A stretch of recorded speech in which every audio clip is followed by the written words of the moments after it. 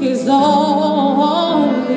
Everybody raise your voice and say, Holy.